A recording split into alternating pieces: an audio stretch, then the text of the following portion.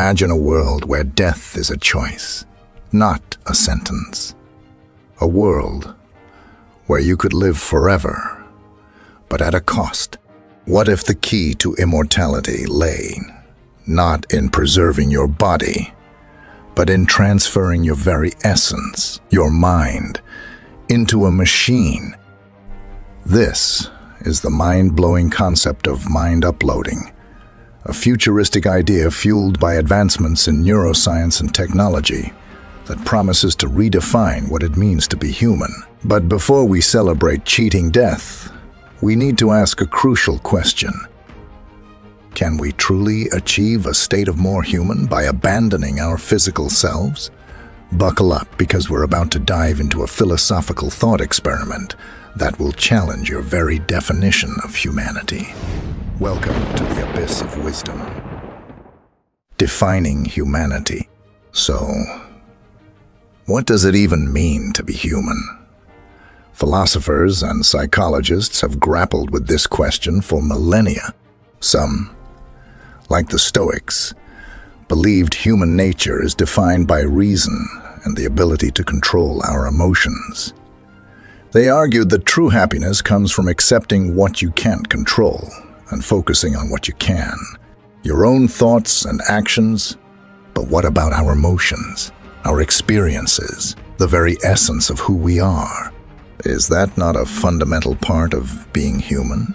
Is our humanity tied to our physical form? Or does it reside in the essence of our consciousness, the very core of who we are? This, my friends, is the crux of our thought experiment. For centuries, philosophers and psychologists have dissected the very fabric of what makes us human.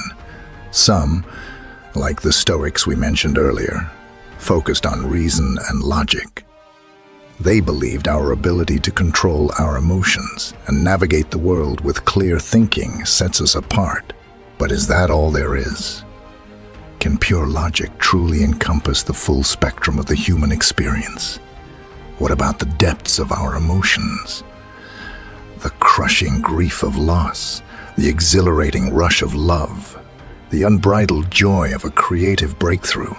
These emotions, these experiences, shape us, mold us, and define who we are, just as much as our ability to think rationally.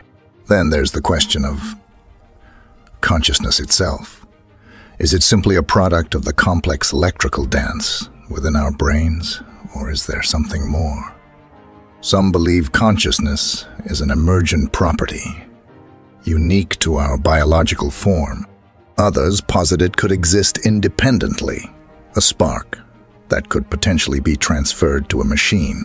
But even if we could capture the essence of our consciousness and transfer it, would it still be truly us? Would we lose something irreplaceable in the process? The warmth of a human touch, the bittersweet sting of a tear, the very essence of being embodied in the world. Are these things fundamental to our humanity, or simply limitations of our current form? Is our humanity tied to our physical form? or does it reside in the essence of our consciousness, the very core of who we are? This, my friends, is the crux of our thought experiment. Transhumanism and technological advancements.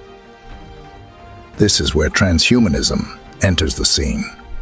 Transhumanists are a group of thinkers who believe technology can and should be used to enhance our human potential even overcome death itself.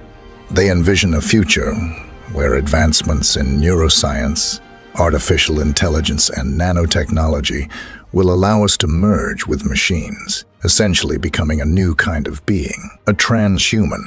And that's where mind uploading comes in. Imagine a future where scientists can map the intricate connections of your brain, your very essence, and upload it into a sophisticated computer program. Your consciousness, your memories, your entire being, existing not in a physical body, but in the digital realm. Mind uploading sounds like science fiction, but advancements in brain-computer interfaces and artificial intelligence are making this concept a very real possibility. Scientists are already exploring ways to decode brain signals and translate them into computer commands. Imagine a future where this technology becomes so sophisticated that it can not only read your thoughts, but capture the very essence of your being. The idea of living forever in a digital utopia is certainly tempting. But before we get caught up in the allure of immortality, we need to consider the potential pitfalls. The dark side of advancements, the prospect of transcending our physical limitations and achieving a form of digital immortality is undeniably exciting. But before we celebrate cheating death, we need to confront the dark side of this technology. What happens to our individuality when our consciousness can be copied and uploaded multiple times? Could mind uploading lead to an identity crisis on a massive scale? Would we even be the same person if our essence could be replicated and potentially modified within a digital world? And what about the societal implications? Imagine a world where the wealthy elite can afford to live forever in a digital paradise, while the rest of humanity remains tethered to their physical bodies. Could mind uploading exacerbate social inequalities and create a new kind of digital divide? Are we on the verge of creating our own replacements? Beings that resemble us, think like us, but lack the very essence of what makes us human? The question remains. In our pursuit of transcending mortality, could we inadvertently lose what it means to be human altogether? The allure of mind uploading is undeniable. Imagine escaping the confines of your physical body, the fear of aging and illness becoming a distant memory. But this technological leap could come at a steep psychological cost. What defines who we are? Our memories, our experiences, yes, but also the way we interact with the world through our senses. The warmth of a hug, the sting of a cold wind, the beauty of a sunset. These experiences shape us and make us unique. Could a mind existing solely in a digital realm truly replicate these sensations? Would it even be the same, you, without them? Then there's the question of individuality. If mind uploading becomes commonplace, what happens to the concept of a unique self? Could your consciousness be copied, uploaded multiple times? Would each copy retain your essence, or would they become fragmented versions of your original self? Imagine an identity crisis on a massive scale, where the very definition of who you are becomes blurred and uncertain. The societal implications are equally concerning. Mind uploading could exacerbate existing inequalities. Imagine a world where only the wealthy elite can afford to live forever in a digital utopia, while the rest of humanity remains tethered to their physical bodies. This technology could create a new kind of digital divide. One that widens the gap between the haves and have-nots. Are we sleepwalking towards creating our own replacements? Beings that resemble us, think like us, but lack the very essence of human connection, of empathy, of experiencing the world through our physical senses. In our pursuit of transcending death, could we inadvertently design our own obsolescence? The philosophical dilemma. The question of mind uploading throws us headfirst into a philosophical labyrinth. For centuries, philosophers have grappled with the essence of self and consciousness. Some, like the ancient Greeks, believed the self resided in the soul, an immaterial entity separate from the physical body. Others, like John Locke, argued that the self is a product of our experiences and memories. Today, philosophers and scientists debate whether consciousness is an emergent property of the brain or something more fundamental. If it's simply a complex electrical dance, could it be replicated in a computer program? But even if we can capture the essence of a mind, can a digital copy ever truly be you? Would it possess the same subjective experience, the same spark of consciousness that defines a living human being? Imagine gazing upon a breathtaking sunset. The warmth on your skin, the vibrant colors dancing before your eyes. These are all part of the experience. Could a mind existing solely in a digital realm ever truly replicate these sensations? With the digital, you appreciate the beauty of a sunset in the same way? These are the questions that keep philosophers up at night.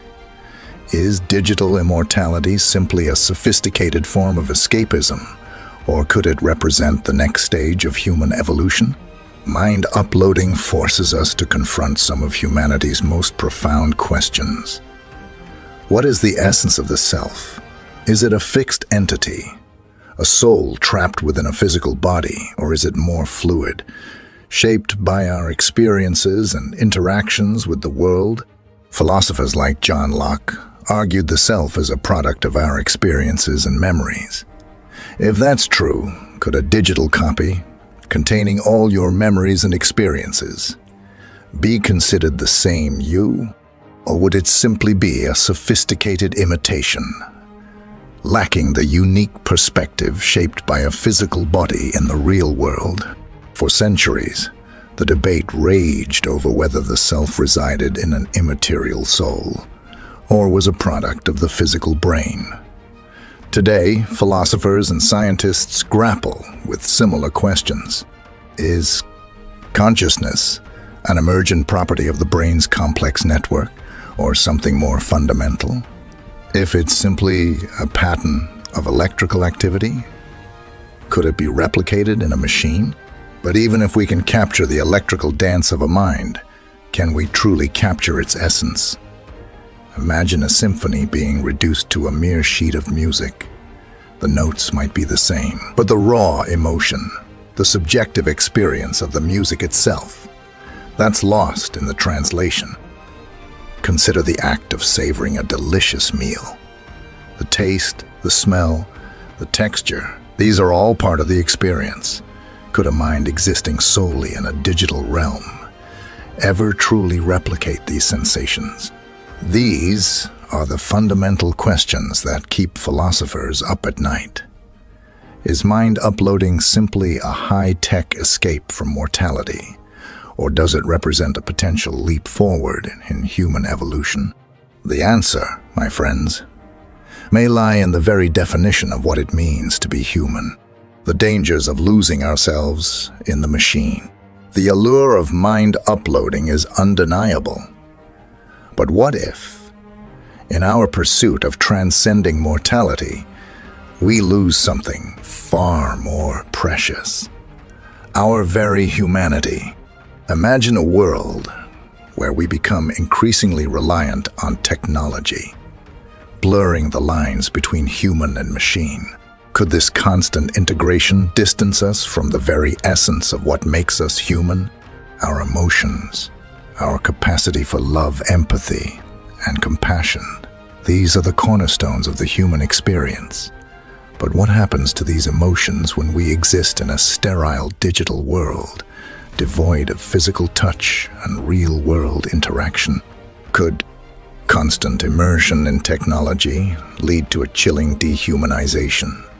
Imagine a future where our social interactions are reduced to sterile exchanges of data, devoid of the warmth and nuance of human connection. This is the dark side of mind uploading. A future where we trade our humanity for cold, emotionless existence? Are we sleepwalking towards a dystopia where machines control our lives and our very essence is lost in the digital abyss? The choice before us is stark. Do we pursue a path of technological advancement at the risk of losing what makes us human? Or do we strive for a future where technology enhances our humanity, not replaces it?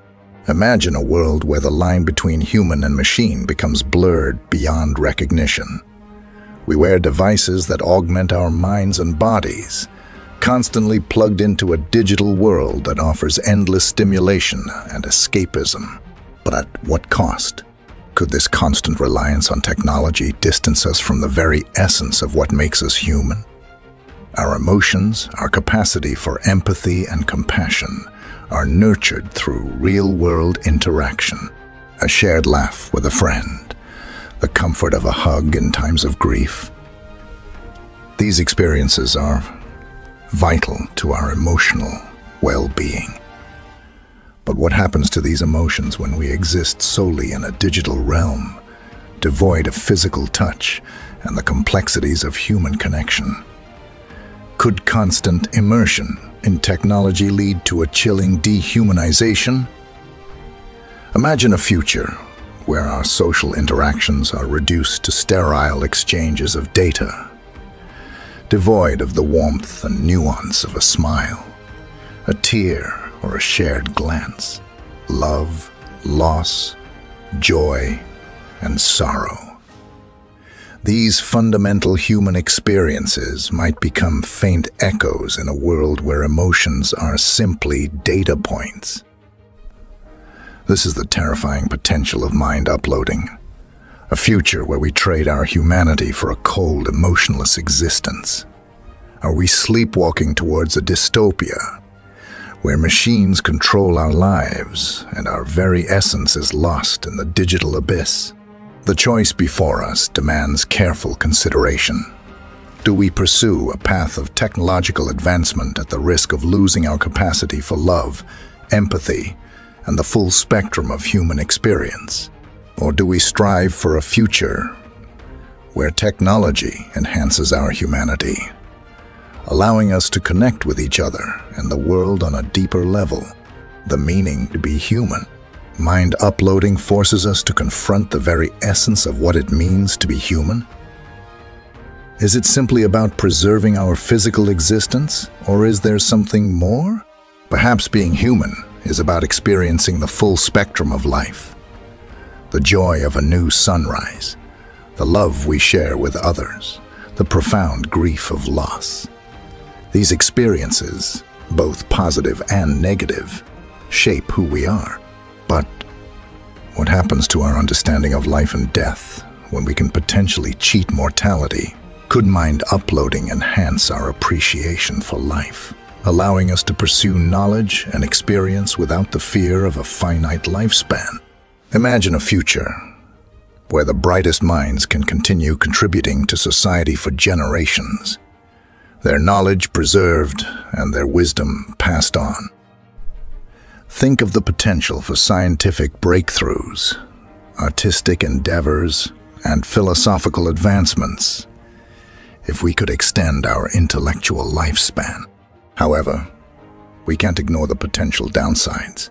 Would the prospect of endless life diminish the urgency of the present moment? Would we lose the preciousness of time? The motivation to make the most of our finite existence? Could mind uploading create a society obsessed with self-preservation, neglecting the needs of the physical world and future generations? Perhaps the true meaning of being human lies not just in extending life, but in living it to the fullest, in embracing our vulnerabilities, our limitations, and the fleeting nature of our existence. Mind uploading may offer a glimpse of a future where we transcend our physical limitations. But the true challenge lies in defining what it means to be human in this new era mind uploading throws us into an existential loop. What truly defines the human experience? Is it simply existing for as long as possible, or is there something more profound at play? Perhaps being human is about experiencing the full spectrum of life, the bittersweet symphony of joy and sorrow, the thrill of a new discovery, the ache of a broken heart, the deep connection with loved ones. These experiences, both positive and negative, shape who we are and give our lives meaning. The impermanence of life is what makes it so precious. It fuels our creativity, our compassion, and our desire to make a lasting impact. Will we choose to preserve our essence, our capacity for connection and growth? Or will we become disembodied minds, lost in a digital abyss? The answer, my friends, lies with us. Are we creating our own replacements? In our pursuit of technological advancement, could we be unwittingly designing ourselves out of the equation? Mind uploading raises a chilling question. Are we creating our own replacements?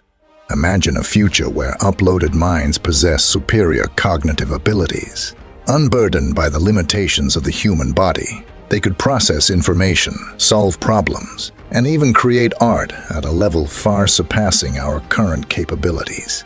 These superior minds could revolutionize every aspect of society.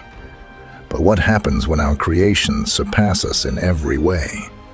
Would we become obsolete, reliant on these uploaded minds for our very survival? Could we be paving the way for a future without us? Imagine a world where humanity becomes an evolutionary dead end, surpassed by our own technological offspring. Would these uploaded minds retain any semblance of human empathy or compassion? Or would they become cold, calculating entities devoid of the very essence that defines us? The prospect of mind uploading may seem like science fiction, but the potential consequences demand serious consideration. Before we take this leap into the unknown, we need to ask ourselves, are we ready to create beings that may one day replace us? The pursuit of technological advancement has always been a double-edged sword. While it propels us forward, we must consider the potential unintended consequences. Mind uploading forces us to confront a chilling question.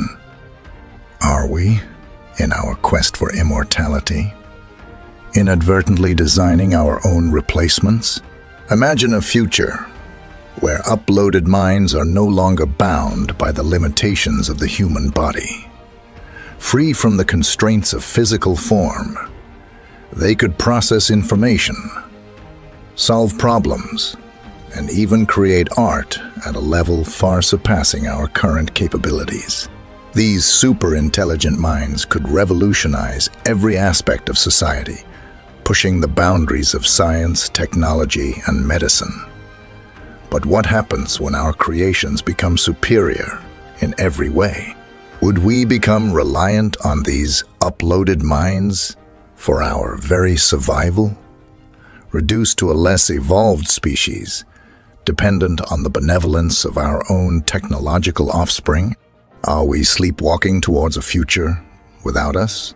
Imagine a world where humanity becomes an evolutionary dead end, surpassed by the very technology we created, would these uploaded minds retain any semblance of human empathy and compassion?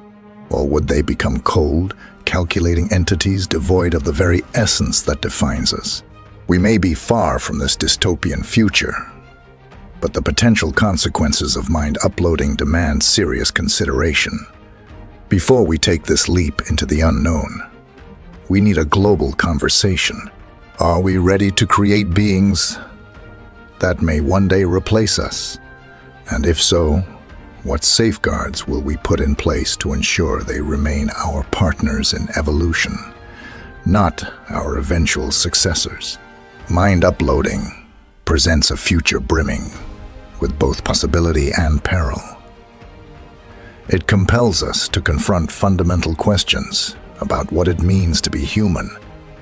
Is our humanity tied to our physical form, or can it exist in a digital realm? Will this technology enhance our lives or lead to a dehumanized future? These are not easy questions to answer.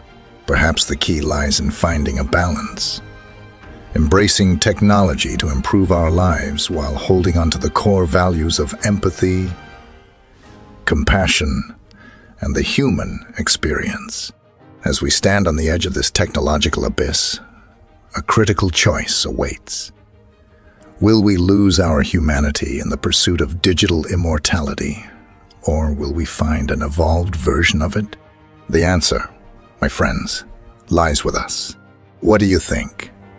Can mind uploading coexist with our humanity? Share your thoughts in the comments below. Let's start a conversation about the future of our species. This mind-bending journey into the future of humanity has come to an end, but the conversation is just beginning. If you enjoyed exploring the philosophical implications of mind uploading, hit that subscribe button for more thought.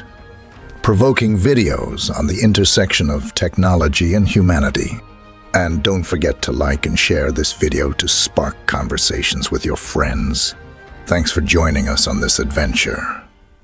Until next time, keep on pondering